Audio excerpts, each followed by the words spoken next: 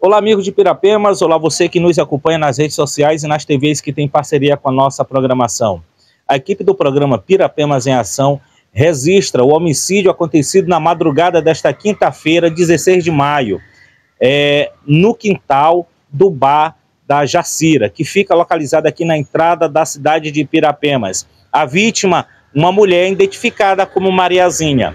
A Polícia Militar, a Guarda Municipal chegaram no local fizeram aí o acompanhamento e esperaram a Polícia Civil de Itapecuru, na pessoa do delegado Samuel Morita.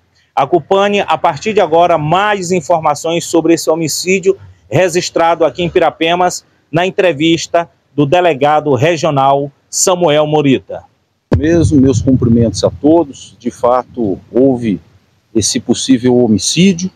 É, nós já estamos aqui no local, já fotografamos o corpo da vítima, já é, estamos providenciando o exame cadavérico para que o corpo seja levado para o IML, para que seja examinado, periciado por pessoas que têm conhecimentos técnicos e específicos, até para fazer prova também, que vai sempre que você tem uma morte tem um processo.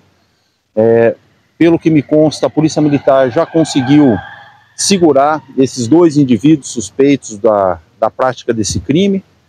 É, a funerária também, o corpo já está liberado para que ela possa conduzir até São Luís, lá na, na UFMA, para o IML, e nós é, abriremos agora um inquérito policial para investigar as circunstâncias do crime, interrogaremos os indivíduos que já estão na delegacia, já estamos conversando também com a dona aqui do estabelecimento, do bar onde tudo ocorreu, foi a pessoa que encontrou o corpo.